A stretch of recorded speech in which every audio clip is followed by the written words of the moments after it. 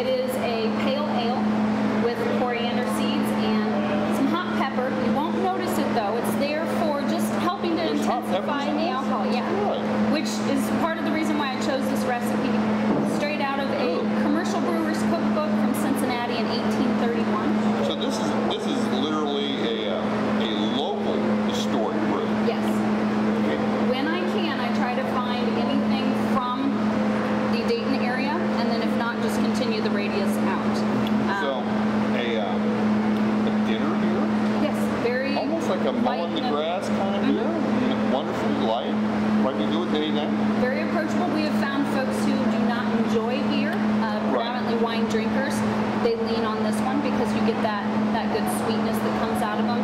All of them have sour notes in them because of There the is. historical Yeah. open kettles and fermenting in oak barrels. So in addition to the yeast that is intentionally pitched, there is the wild uh, bacteria yeast. that comes in. Yeah, Okay, so now more of the smell of the pepper than the flavor, correct. and just a slight tinge I didn't pick up any mouthfeel. heat. Just, just a slight, yeah. Really, see, my, my taste buds are probably burned out way past tasting that little bit. But it's very faint, and that's what you want. It is. You don't want to necessarily recognize it unless you've been told that's what's in it, and it's very refreshing. Very crisp. Very refreshing. It's very refreshing. It's a very refreshing beer. Now, when we came back and filmed you earlier, what were you making that day? Uh, that day, I believe we were brewing our pale rye. Okay. That's fascinating. She would not even use a match to start the fire.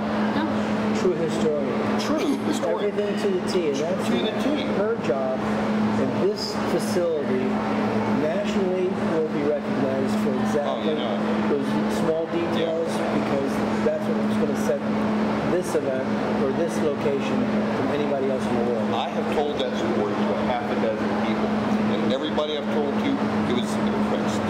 So, ah, authentic. Oh my God. All right. Well, if you're going to open up a brewery at a historical park, you need to pay attention not just to the beer, but also more importantly the history. So that's that's a big part of what we're doing is telling a story not just in the process of how we brew the beer, but also in the unique styles of recipes that, that we're serving to folks. So is that something, if I went back in time and I, I popped up around here, is this something I would have drank around here? Yes, I believe so. See, I think that's the, that's what I love the most. That that is the taste that you would have tasted right here in the Miami Valley. What, 150, 200 years ago? Well, with all the breweries that Dayton had, probably more than many in one concentrated oh, area, Dayton had so much talent doing everything so many different ways because of the origins of the world that they came from. Yeah. It was it was a little micro micro melting pot. Yes, it was. The s- smaller version of, of Cleveland, Yeah. Cincinnati, uh, a little bit of Chicago, and a little bit of New York. Cin- Cincinnati, I think, is one that is one of the next places that we we're going to be taking the show. Oh yeah, Cincinnati. So what's next? Next is a porter. Ah, I This is love an early porter, very, very thin on the mouthfeel compared to a modern porter. Right? Again, the sour note is going to come through, Yeah, kind of a caramely. and that is because we hand roast. Um, all of our barley either is used as a, as a pale base malt, or we hand roast it in a cast iron skillet over hot coals, You can smell one it. pounded at a You can time. smell that, can't you? It's nutty, roasty, Mmm. a little bready, but Oh. yeah, Again, see, you have I the- love that one. you have the fruity esters that are coming out from the finish. which Who? would- Fruity esters. Fruity esters. Esters. Esters would be a little bit of that sour tart, Mmm. That's what I'm liking. Yeah. yeah. but it's light in body. Mhm. Still has good mouthfeel to it, but not heavy at all. Mm, mm, mm. And Now- the darkness always comes from the color of the roast. Is that more of an English brew? Would that would that be older than this one? This this particular recipe is not. Okay. Um, this one is an 1856 recipe. Oh, fairly late. Okay. Big relative to the 1831. Right. Um, it is a working class beer. Um, as far as it's easy, it's something you can drink. The sour nature of it is going to keep your salivary glands active, which tells your brain it's time to keep drinking. Similarly to drinking Oh. lemonade on a hot summer day versus a milkshake. It, it keeps your body hydrated, wants you to drink more. So I had noticed that. That's right. through with that. Yeah, yeah. The sourness makes it mm, Cleansing. mhm. Now Also, a good a good item that you would be able to eat with that is wonderful. because it's cleansing it's Fish. Oh my God. Pairs really well with our burger. Really? Yep. That that fatty nature of a burger, Mm, salt. cut by the roasted notes of it and the sour. That would be good. All right. Now, what's your most popular? If, if I came down here, what's the one that everybody starts off with? So the coriander and the historical recipes that we serve. They come already on the flight, and then you choose two others. But tops would be the coriander ale, and I think it's because folks tend to shy away from dark if they're not a dark beer drinker. Yeah, they're Um, scared. They get a little scared. Right. We'll start strong, dark beer. Yeah. They, they have a preconceived notion of way That's too heavy, and it's not. Yeah. teaching people that color is not the definitive, Yeah. but letting them, and that's why we give taste, but just to get a taste, because they're afraid of that color, They're they're scared of it. Yeah. the heaviness, Yeah.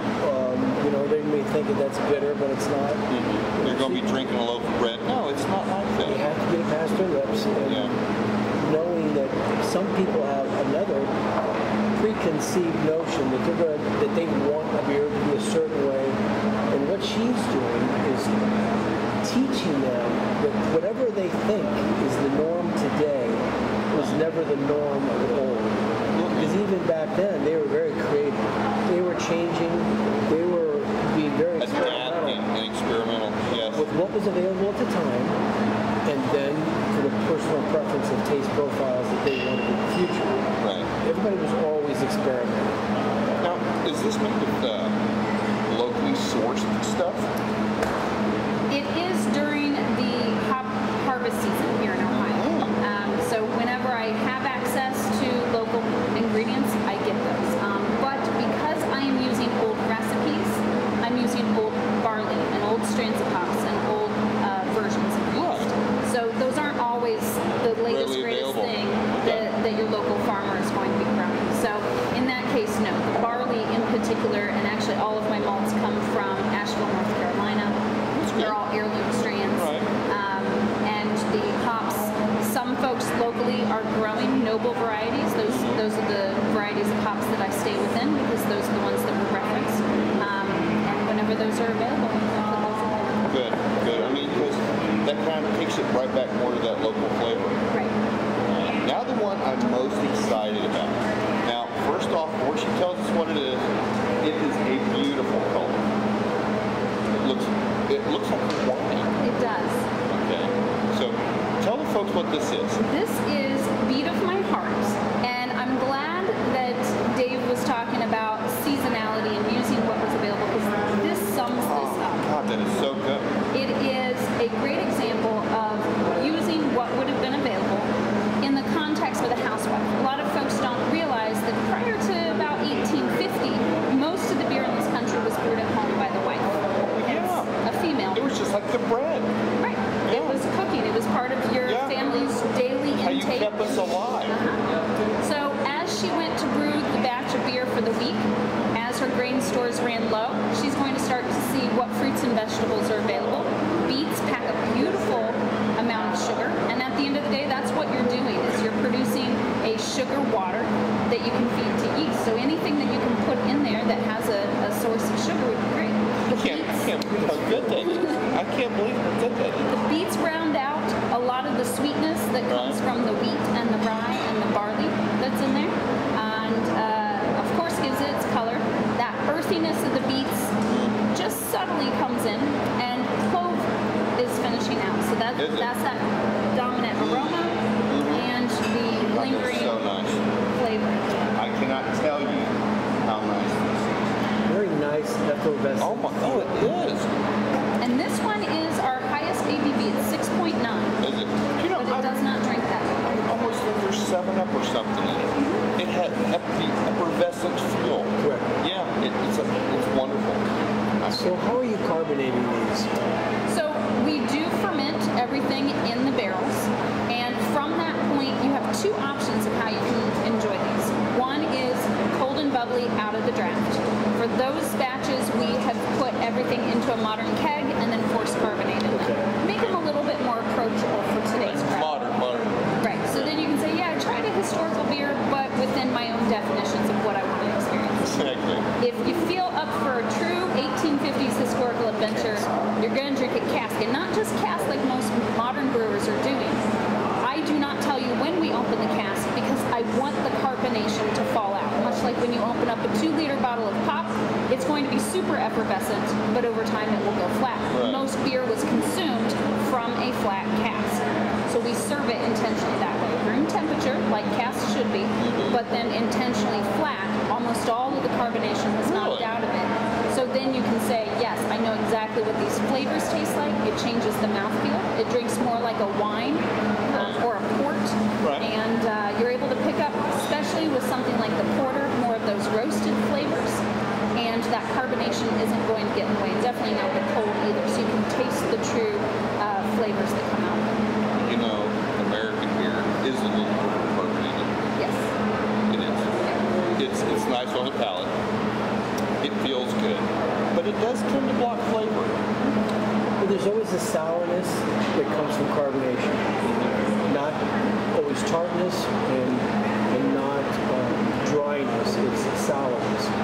CO2 sourness is different than the sourness that comes from the fruity esters. Exactly. So once you taste a cask that has not been carbonated and that is maybe at the right time of pouring because you know when that spile starts to talk to you, you Right. know you've got a little bit too much in there. So is there a is there a prime time on a cask? Is it like it best at some point and then go downhill from there? Sure. For us, no, because we, we want to have that range of experience each time you come in and you're trying it. Right. Um, because there was incredible variability in, in batches, whether your wife was making it or a commercial brewer. Well, we all know you, you swivel around the Right. last little bit in the bottom. Yeah. Yep. Um, but for a true cask experience, Right. to get that nice balance of the carbonation, but also that, that advantage of the, the warm temperature, Right. I would say a couple pulls off of the cask, usually about an hour after you've tapped the spile you're going to get more of a level carbonation. A that, normal- that what would be initial, a it's kind of like when you open up champagne, you get intense carbonation, but then Right. it'll flatten out. Right. Whenever you, the cast changes hourly, when you're filling up the cavity that's coming through your spile into the cavity of your firkin or whatever type Right. of casting that you're doing, Right. it is changing because of the active yeast that's still in the container, the cooperage. So it could literally be getting more sour or It's changing. It's that those sugars are still being eaten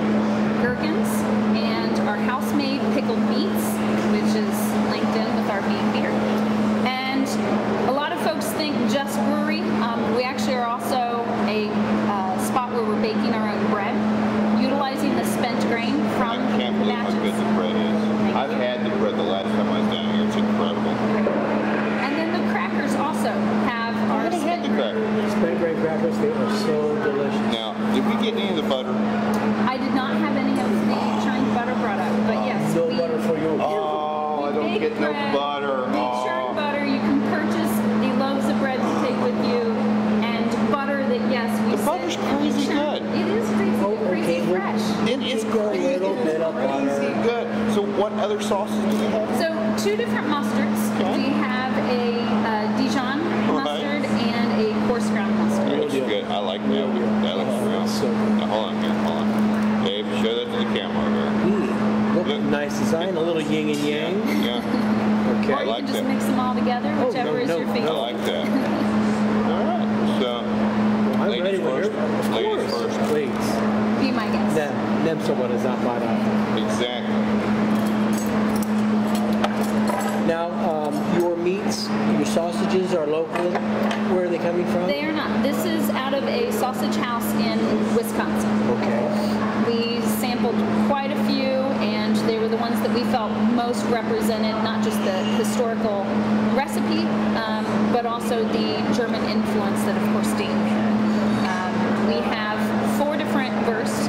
Um, three are represented here. We have a traditional Mettwurst, Bratwurst, Frank, and a Hotling. So we have the Hotling, the Brat, and the Mettwurst for us today. I love meats. So if you want to go a little Hungarian, I make this wonderful Hungarian kolbas. I'll bring some down to you. Yes. Just for your good. sampling. All right. It's good. Okay, so let's find out. And then the beets, as I mentioned, are our house pickled beets. So more often than not, when you come in and you see a kettle hanging over our first floor fireplace, the kettle is going to have beets in it that we're boiling away either for this purpose or for our fresh boiled beet salad. We were supposed to do ladies first, and what are we No, doing? that's She, she, she, she, I insist. she, she, She hopped it out, didn't she? Yeah. She's not going to eat. She's going to be like my wife. No, no, you guys eat first. I have five sisters. I know all of them. All right, I got Charlie's picking beets. Now I think I'm going to, am I turning into a beet fan? I, I think we've converted you, which is great. Hey, if you take the liquid form, we'll take the solid I form. will take the solid one. All right, let's see what we got. That's good. That's real good. It, it was just been a bad beat all along. Well, our grandmothers force fed us, tried to force feed us beets. So we resented that. Now you have to re, you have to reintroduce us. You know, the first one, this is the, The that's the mess.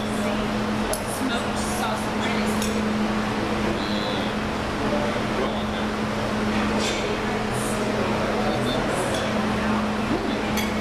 Oh, that's a nice cracker. Flaky.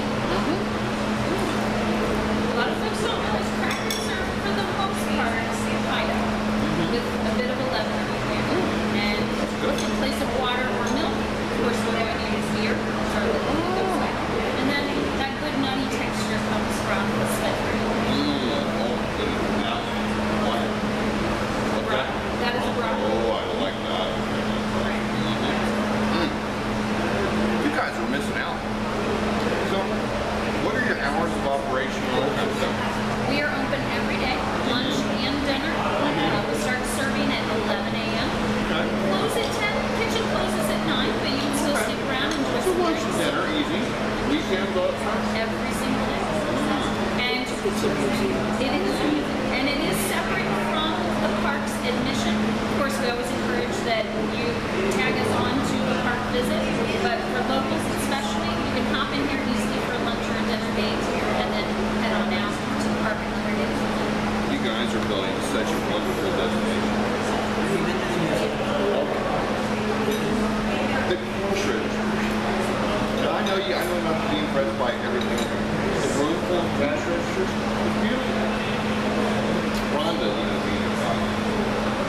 She was, oh my God, look at the cash register. This, I would suggest anybody can come here first, get a flight, get a nice little glow, go to the museum, walk through. You're going to get a little bit hungry, a little bit thirsty at the end. Come back, sit on the back beer garden, relax, be a little bit in the sun, make a day of it.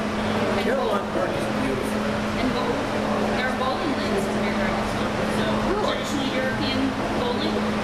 Nine Like a pin. bowling ball? Heckling. Yep. Good day. Dave's tired. I like this business plan. Ready? Now, do you guys, do you do events? I mean, is this something that if, if, if I was getting married or something, that's what it's Our like? catering facility is beautiful. Yes. different rooms, different locations. They'll move things around. Wonderful catering. Really? It's, they do it all. And your options could be as simply as here in the in the brewery. We have a side beer hall room. Fits beautifully for an intimate celebration as well as up to about 65 people in there. So just even corporate stuff, just Yes. Or elsewhere throughout the park, and then some of our other properties that we own on the website? on our website. Okay, so what's the website? It's the. Website is carillonbrewingco.org. That will get you anything that you need to know about the history of Dayton's brewing, but also what it takes to plan your visit to come out and see us. And then, of course, there's always DaytonHistory.org that rounds out the rest of the park experience. You have to come in when they're brewing, when they're doing some of the processing. The smells are wonderful. Oh, I know. And so we encourage everybody to find out when they're brewing, come in and look at see what they're doing at different levels of the brewing process, to understand where this important nutritional beverage, why it was so important for them to dock where they docked when they came to the United States. All that information on the website. Really? And when you're in here, just like Dave says, find out, ask your servers, and uh, Ben would have been happy to tell you the same as, as what I've been sharing with you. Or you can step up and ask any of us